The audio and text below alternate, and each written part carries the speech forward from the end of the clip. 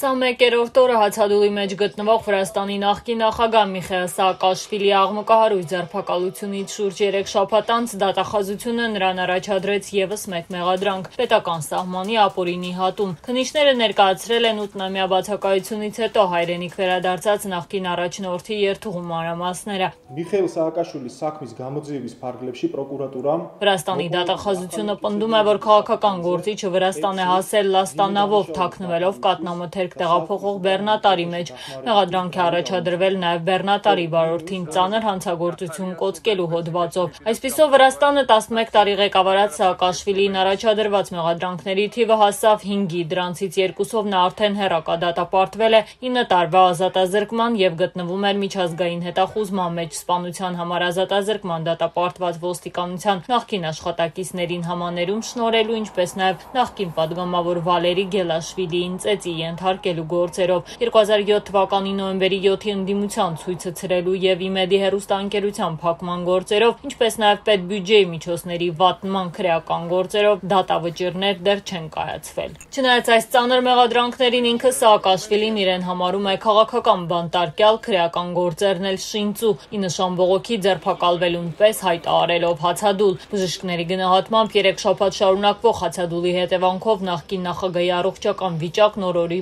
վատթարանում է։ հոսպիտալիզացիա արարի, მაგრამ պրոֆիլակտիկիս Նա տեղաշարժվում եւ խոսում է դժվարությամբ 20 օրում կորցրել է 14 կիլոգրամ։ Օրեր շարունակ կտրականապես հրաժարվելով բժշկական միջամտությունից Սաակաշվիլին երեք այդուհանդերձ համաձայնել էր հոսպիտալացվել, ինչպես փաստաբանի միջոցով փոխանցել է կալանավայրից, բացառապես հանուն Վրաստանի։ ყველა ჩემი ნაბიჯი იყო ნაკარნახები მთავარი მიზნით დავეხმარო ქართულ ხალხს ჭაობიდან თავის დაღწევაში Ես ուզում եմ պահպանել ողջամտությունս եւ աշխատելու ունակությունս մինչեւ վերջ, ուստի համաձայն եմ բժիշկների միջամտությանը, ովքեր կօգնեն ինձ թափ մնալ։ Եվ թեև սահմանափակումներով, բայց մասնակցություն ունենալ ընթացիկ իրադարձություններին, որպեսզի կարողանամ օգնել Վրաստանին։ და დაუბრუნდეთ ნორმალურ დემოკრატიულ პროცესს, სადაც ხალხი იღებს გადაწყვეტილებებს ძალდატანების და გაყალბების გარეშე։ Նա սակայն նույնիսկ անձամ պատրիարքի հնչեցրած հորդորներից հետո սնունդ ընդունել մտադիր չէ։ Միխայել Սաակաշվիլին տևական բացակայությունից հետո հայրենիք է վերադարձել երկրի համար վճռորոշ տեղական ինքնակառավարման մարմինների ընտրությունների նախաշեմին։ Չնայած այդ զոհաբերությանը նրա ղեկավարած ընդդիմադիր ուժին չի հաջողվել առավելության հասնել իշխող վրացական երազանքի նկատմամբ։ Միջդեռ ընդդիմությունը շուրջ 1 տարի առաջ տեղի ունեցած խորհրդարանական